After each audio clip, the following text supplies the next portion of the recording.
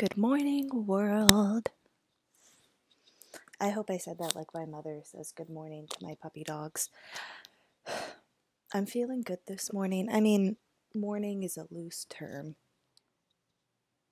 It's almost noon, but I'm feeling good. And my hair is actually not that greasy, which is a miracle on my part. I don't have to work until 4:50. I think I'm to just get ready for the day and uh clean my room, go grocery shopping. It's to be amazing. So what am I to wear, you're wondering? Let's see.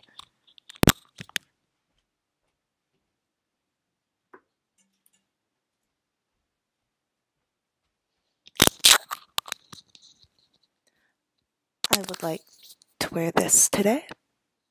Let's see if I can make it look good. Catch you people on the flip side.